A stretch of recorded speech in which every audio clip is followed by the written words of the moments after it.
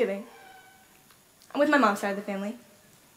That consisted of my mom, my dad, my sister Katie, my brother Will. Not that Will Smith, this Will Smith.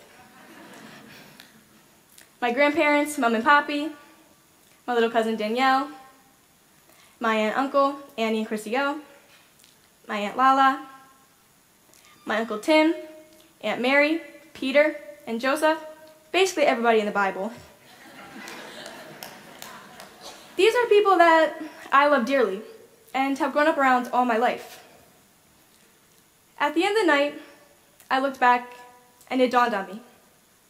I barely made eye contact with any of them. Not because I'm socially awkward and not because I'm cold hearted. I was glued to my phone the entire time. I was there, but I wasn't present. A lot of people can say that our addiction to social media is emotional, but it's chemical as well. It's fair to say that a handful of people get anxiety when they have to put their phone down for more than 10 minutes. There's something always telling them that they need it, and that something is dopamine. So I'm going to throw a whole bunch of science at you right now, but it's important you hear, so just stay with me. So let's talk about dopamine. Dopamine's a neurotransmitter in our brain that sends signals to other nerve cells. It plays a critical role in motivating our everyday behavior. For example, you get a first bite of your favorite meal, you ace your history final, your crush asks you out, your dopamine level is lighting up like a Christmas tree. But on the other hand, when you say get cut from the basketball team, flunk that history final, or even something as simple as forgetting to charge your phone the night before school, down goes your dopamine level and your mood. Dopamine is linked very closely with social media use. You feel great when you get all the likes on the selfie you posted on Instagram, or when you reach 500 views on your Snapchat story, or when your phone is blowing up with notifications. The second you hear that ring, feel that vibration, or see that notification come up on your lock screen, your dopamine level rises at that very second. But when you come back to your phone after eating dinner with your family and find nothing on your lock screen, say goodbye to the dopamine. This creates a real life addiction. You need those texts. You need those likes. You need those followers. You need the dopamine. It is proven that social media is linked with depression, anxiety, and other mental health issues. I mean, it makes perfect sense. You are given this platform that forces you to live up to some social standard that is not realistic at all. It leaves its users feeling empty insecure, and anxious. It's not healthy. Social media at some points has taken me away from the quality of life. And I'm sure it has for some of you as well. You know, it's funny when adults say that famous line, kids these days. Especially when it's likely that many of the adults in this audience have checked their phone at some point since they sat down in this auditorium. You can't blame us though. It is something so common in this day and age that it's hard to shy away from. I've grown up around it all my life. I made my first Instagram account in the fifth grade. I was only 10 years old.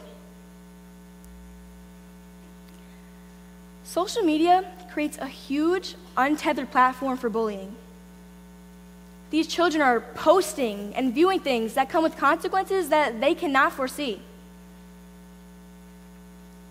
I'm sure some, some of us could say that we found ourselves in conflict with somebody on social media.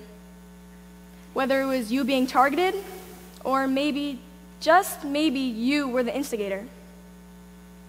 I've been impacted by this. And like I said earlier, I was in the fifth grade, just started getting into the world of social media.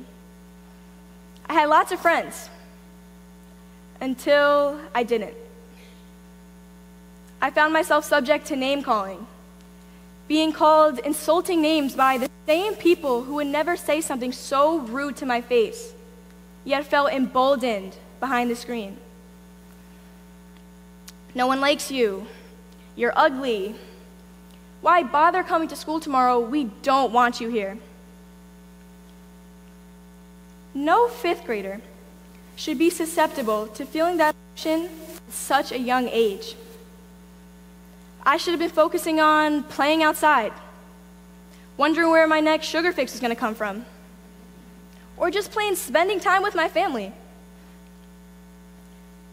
But I was worried on my reputation and my looks and my ego at 10. The way social media affects adults and adolescents, it's different. At age 25, the human brain is fully developed. And that right there is the difference. Due to the lack of prefrontal cortex development in the adolescent brain, the adolescent is less equipped to handle the stress and pressure produced by Instagram, Twitter, Snapchat, Facebook, the list goes on and on. For example, you're in seventh grade. Your parents finally caved and let you make your first Instagram account. You're so excited to take your first step to digital independence. You go headfirst into the deep end, post your first selfie. The next day, you come into school, you overhear chatter about how ugly the photo you posted was on Instagram by a group of girls whose number of followers surpasses any number of the amount of friends you have in real life you are instantly reminded of your social status. Meanwhile, a fully developed brain could handle the situation better. Let's be honest high school's tough. The hallways are vicious, the lunchroom, brutal. High schoolers are judgmental. We don't want to believe it, but we are. Our emotions are magnified during our high school years. Social media has completely shifted the dynamic of how we communicate. It has created a barrier between the comfort of saying something through text rather than saying the same thing face to face. I'm no expert. I'm just a 17 year old who's up here talking about how social media impacts people when I have completely fallen under its spell. But there's one thing I do know these people, sadly, are not going to be here forever nor am I. And I don't want to go through life regarding the quality time I could have spent with them but didn't because I was scrolling through my Instagram feed, caring more about what others were doing rather than the ones right in front of me. So, my family is in attendance tonight, and I'd like to take a moment and say this publicly. While I'm far from perfect, and I'll probably fall victim from being glued to my phone from time to time, I promise to not only take my own advice and not just be there, but be present. Thank you.